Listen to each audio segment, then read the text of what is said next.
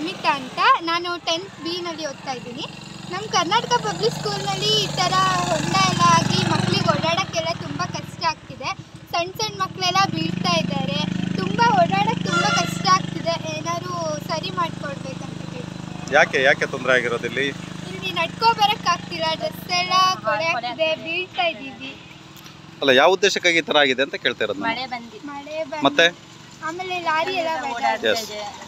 Building ಕಟ್ಟಡ ಆಗ್ತಿದೆ. ಹ್ಞೂ ಹ್ಞೂ ಈ ತರ ಆಟೋ ಬರೋದ್ರಿಂದ